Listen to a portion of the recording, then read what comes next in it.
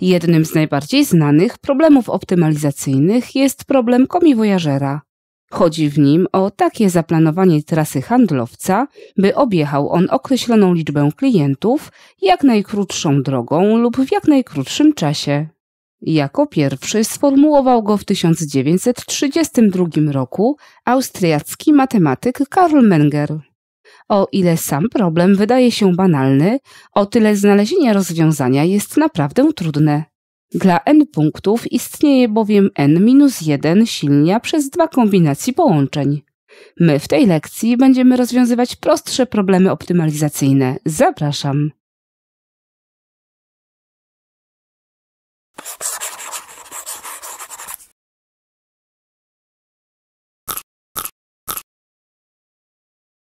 Tej playliście zoptymalizowaliśmy niejedną figurę.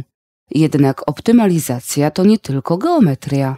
Optymalizujemy zyski firm, podatki czy własną garderobę, aby minimum ubrań dawało maksimum efektu. Optymalizacja w życiu codziennym wymaga najczęściej wielu zmiennych. My skupimy się na jej uproszczonym wariancie. Przeczytajmy pierwsze zadanie. Suma dwóch liczb jest równa 10. Znajdź te liczby, jeśli wiadomo, że suma jednej z liczb i kwadratu drugiej jest najmniejsza z możliwych. Na początek przeanalizujmy parę liczb, która w sumie da nam 10. Może to być na przykład 1 i 9. W tym zadaniu kolejność ma znaczenie, bo tylko jedną z liczb podnosimy do kwadratu. Innym przypadkiem będzie więc 9 i 1. Obliczmy w obu wariantach sumę pierwszej liczby i kwadratu drugiej. Jak zapisać tę sumę w postaci uogólnionej? Aby uniknąć wprowadzania dwóch zmiennych, nasze liczby możemy oznaczyć jako x i 10 minus x. Ponieważ to drugą liczbę podnosimy do kwadratu, to ją oznaczmy jako x, a pierwszą jako 10 minus x. Łatwiej bowiem podnieść do kwadratu x niż wyrażenie 10 minus x.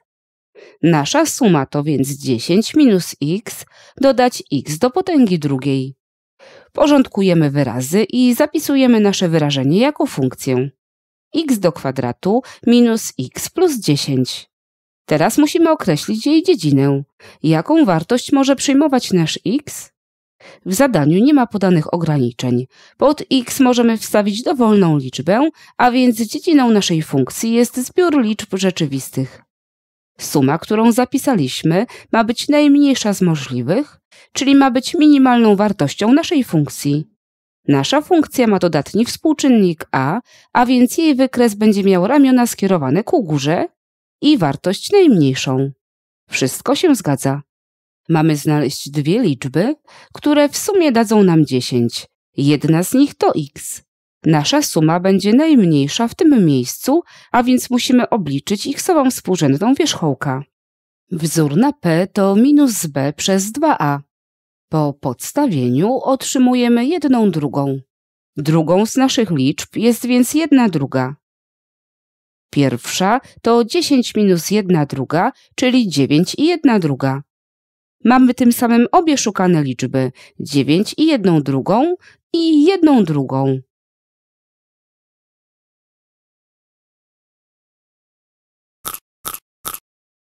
Czas na drugie zadanie. Tym razem zoptymalizujemy zyski w małym biznesie. Pewien sklepikarz sprzedawał damskie torebki po 120 zł za sztukę. Miesięcznie sprzedawał w tej cenie 300 torebek. Zauważył, że każdy wzrost ceny o 10 zł zmniejszał miesięczną sprzedaż o 25 torebek. Oblicz, jaką cenę jednej torebki powinien ustalić sprzedawca, aby uzyskać jak największy zysk, jeśli cena hurtowa torebki to 80 zł za sztukę. Zanim zaczniemy optymalizować cenę torebki i układać funkcję określającą tę cenę, Przeanalizujmy kilka możliwych scenariuszy, aby łatwiej nam było zobaczyć zależności. Przy cenie 120 zł sprzedaje się 300 torebek miesięcznie. Kiedy cenę podniesiemy o 10 zł, sprzedawać się będzie 275 torebek miesięcznie. Przy cenie 140 zł sprzedaż spadnie do 250 torebek. Jak w tych sytuacjach obliczyć zysk sprzedawcy? W pierwszym wariancie na jednej torebce sprzedawca zarabia 40 zł. Sprzedaje miesięcznie 300 torebek, a więc jego zysk to 40 razy 300, czyli 12 tysięcy. W drugim wariancie zysk to 50 razy 275, czyli 13 750. W trzecim 60 razy 250, czyli 15 tysięcy. Na razie zysk rośnie. Jednak gdybyśmy ustalili cenę na 240 zł, czyli o 120 zł więcej niż obecnie, to sprzedaż spadnie do zera i zysków nie będzie. Gdzie jest złoty środek? Zaraz go znajdziemy, nie analizując zysków dla każdej z możliwych cen. Co zmieniało się w naszej analizie? Na każde 10 zł podwyżki musieliśmy odjąć 25 sztuk z miesięcznej sprzedaży. Zmieniała się skala podwyżki, co najwygodniej będzie przedstawić jako krotność 10 złotowych podwyżek. Cenę podnosimy więc o 10 zł x razy, czyli o 10x, co daje nam wyrażenie 120 plus 10x. Jednak nas interesuje zysk. Z jednej torebki sprzedawca ma obecnie 40 zł. Po podwyżce będzie to o 10x więcej, czyli 40 plus 10x. Ilość sprzedanych egzemplarzy to 300 minus 25x, bo na każdą 10-złotową podwyżkę spada ona o 25 sztuk. A zysk miesięczny? To iloczyn zarobku na jednej torebce i ilości sprzedanych sztuk, czyli 40 plus 10x razy 300 minus 25x. Pamiętamy o nawiasach. Nasza zależność gotowa. Spróbuj dokończyć to zadanie samodzielnie, a następnie wznów film i sprawdź, jak ci poszło. Oto przykładowe rozwiązanie. Funkcja po wymnożeniu nawiasów i uporządkowaniu wyrazów przyjmuje taką postać. Jej dziedziną będzie przedział od 0 do 12, bo większa liczba podwyżek nie ma sensu. Xowa współrzędna wierzchołka to 4, a więc optymalna cena to 120 plus 10 razy 4, czyli 160 zł. Taką właśnie cenę powinien ustalić sprzedawca, aby uzyskać największy zysk.